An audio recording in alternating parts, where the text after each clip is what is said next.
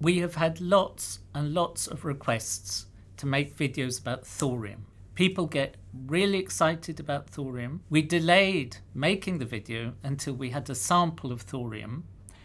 And our friend Max Whitby, who makes nice samples of elements, has told us on many occasions that thorium is the hardest element to get hold of. Well, one of the problems with thorium is simply obtaining it. And there are now very, very few places in the world where you can buy any. Um, even laboratory suppliers don't sell it. Finally, just before Christmas, he gave us a sample.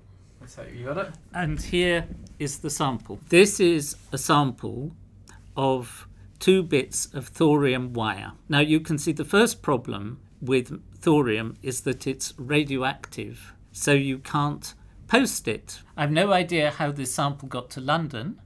It was brought to me in London in Max's bag, and I brought it to Nottingham in my pocket. Now, there's no danger bringing it in my pocket because it's got a very thick piece of plastic, and thorium gives out relatively weak radioactivity, so there is no radioactivity outside this. Thorium as an element is not very widely used. It used to be used for the elements in gas fires. To get a good fire, you have some sort of ceramic element which gets hot and radiates the heat because flames don't radiate heat very much and thorium oxide is very stable.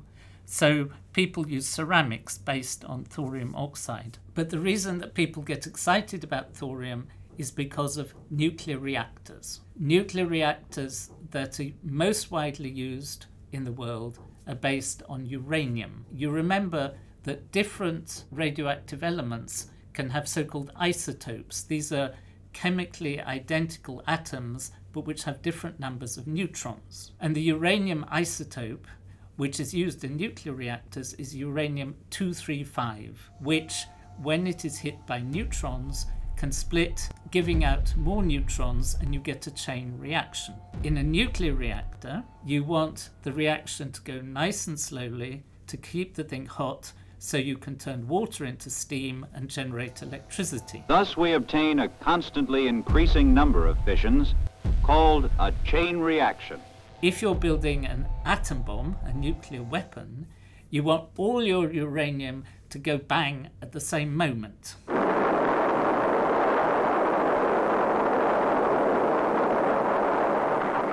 The problem with current nuclear technology is, first of all, that potentially there's a shortage of uranium. It's a very rare element. Equally important, you can use the uranium in the reactor. The uranium 238, which is the isotope that doesn't take part in the reaction, can be used to absorb neutrons and make plutonium, which can then be used for nuclear weapons. So if you build a reactor somewhere, there is a danger that the waste products from that reactor, or some of the waste products, could be used for making nuclear bombs. The atoms of the metals uranium and plutonium can be most readily fissioned to cause nuclear explosion. And everybody in the world generally agrees that we have to try and reduce the number of bombs rather than making it easier for people to make more bombs. Thorium can be used for a completely different approach to nuclear reactors, but which still involves uranium. The most abundant isotope of thorium is thorium 232. If this isotope absorbs a neutron, it becomes thorium 233. Its mass goes up by one.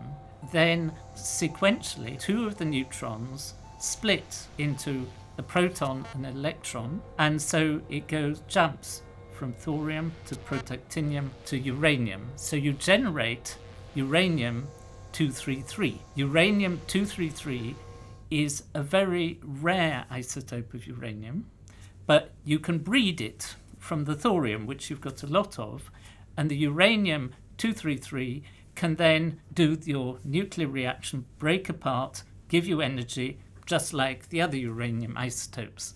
But the difference is that it can't produce plutonium and therefore it cannot be used to make bombs. of course, you can say, well, if it splits in the nuclear reactor, why can't you make a bomb out of uranium 233? And the answer is, in principle, you could, but as a byproduct of all the nuclear processes, you also get uranium 232.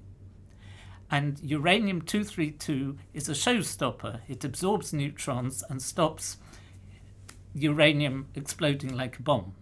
So it's safe in that way. The other advantage of thorium is that it's more abundant in the Earth, and because thorium 232 is the principal isotope compared to uranium 235, which is in only a small amount, there is an awful lot more thorium that could be used in reactors in the world than there is uranium.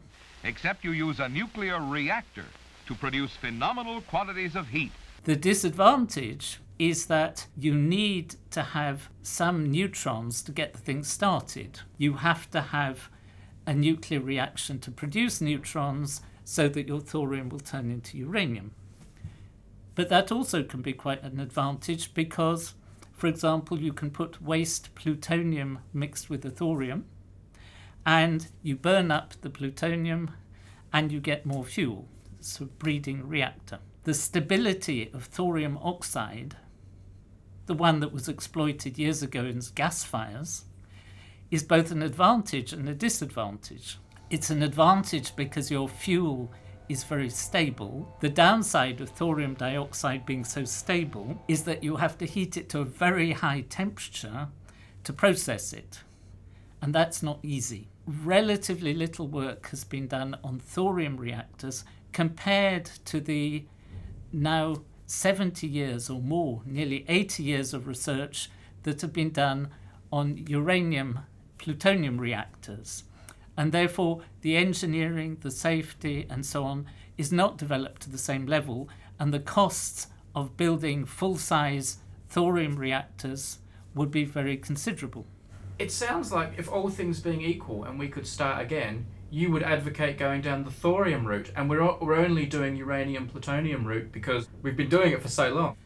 Well, you have to remember that uranium plutonium route started because of the Manhattan Project, the atomic bomb project. I suspect that if nuclear power had been just started for civilian use, that the cost would have been prohibitive and people might never have used nuclear power. So it is built on the legacy of the weapons programs in many of the major countries in the world. We now have the situation where we understand how to handle radioactive compounds.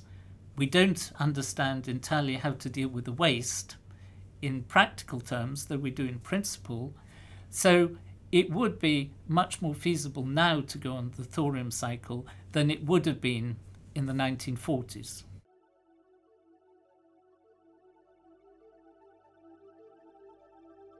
If you'd like to see a bit more footage from this interview, check out the links on the screen or the video description. I'll also include links to more videos about uranium, radioactive elements, and our trip to the nuclear facility at Sellafield.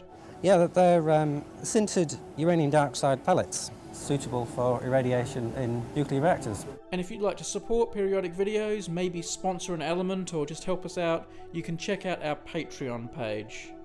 That's patreon.com slash periodic videos.